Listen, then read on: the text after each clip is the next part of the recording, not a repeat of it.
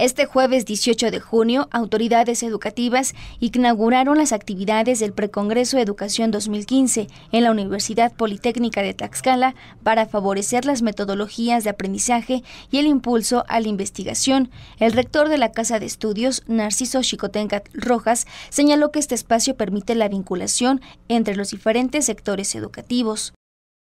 Lo que la Politécnica cuenta en laboratorios, en docentes y pues decirles que estamos abiertos también a la gran colaboración, a atender redes de colaboración científica con nuestros amigos que vienen representando a las demás instituciones. Lo importante es cómo vamos amalgamando todos estos conocimientos, reconociendo que cada institución tiene conocimientos tan importantes que lo, y que lo fundamental es coordinarnos para trabajar.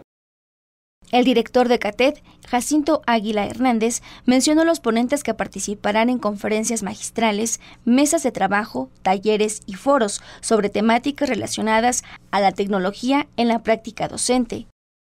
Doctor Rubén Edel Navarro, de la Universidad Veracruzana, la doctora Yadira Navarro Rangel, la doctora Eugenia Erika Vera Cervantes, ambas de la Benemérita Universidad Autónoma de Puebla, el doctor Cesario Morales Velázquez de la Universidad Autónoma Metropolitana Unidad Iztapalapa y la doctora Imelda García López del Instituto Tecnológico de Sonora.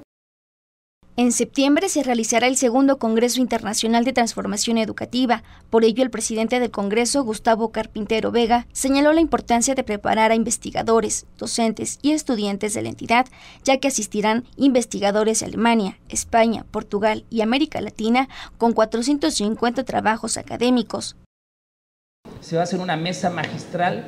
Viene el secretario de Educación de Bahía, Brasil, junto con su delegación para hablar una mesa de transformación educativa sobre eh, las escuelas de tiempo completo y experiencia de investigación en Tlaxcala que tenemos que dar a conocer para todo el mundo. Entonces, la verdad es que estamos muy contentos. Habrá eventos académicos, habrá talleres, simposios, paneles, presentaciones, en fin. Y por primera vez tendremos conversatorios. Quiere decir que estos ponentes internacionales, como les decía, Brasil, Argentina, Perú, Chile, Cuba, eh, Colombia, Costa Rica y México, una vez que estén en las conferencias magistrales, habrá la oportunidad que en la parte del salón del centro de convenciones puedan eh, platicar con ellos y le hemos llamado conversatorios. El secretario de Educación Pública del Estado, Tomás Monibesorno, destacó que este es el compromiso de la actual administración para mejorar la educación a través del intercambio de experiencias. Hablar de transformación educativa requiere de un conocimiento amplio de lo que ha sido, es y debe ser la educación. Debemos estar conscientes del por qué y para qué enseñamos. Quienes trabajamos en el sector educativo estamos sabedores del gran compromiso que hemos adquirido al convertirnos en parte fundamental de la construcción del nuevo paradigma educativo.